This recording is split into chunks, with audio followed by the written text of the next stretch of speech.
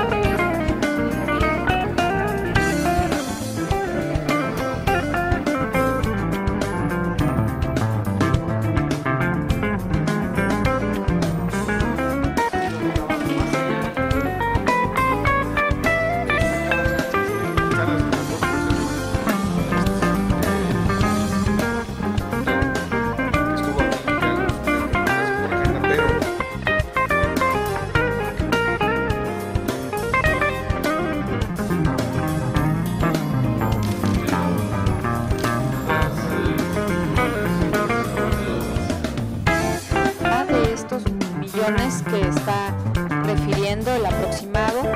Y si me permite, en otro tema, el día de ayer Andrés Manuel López Obrador eh, les llamó. Carlos, temas que le preocupan a la gente.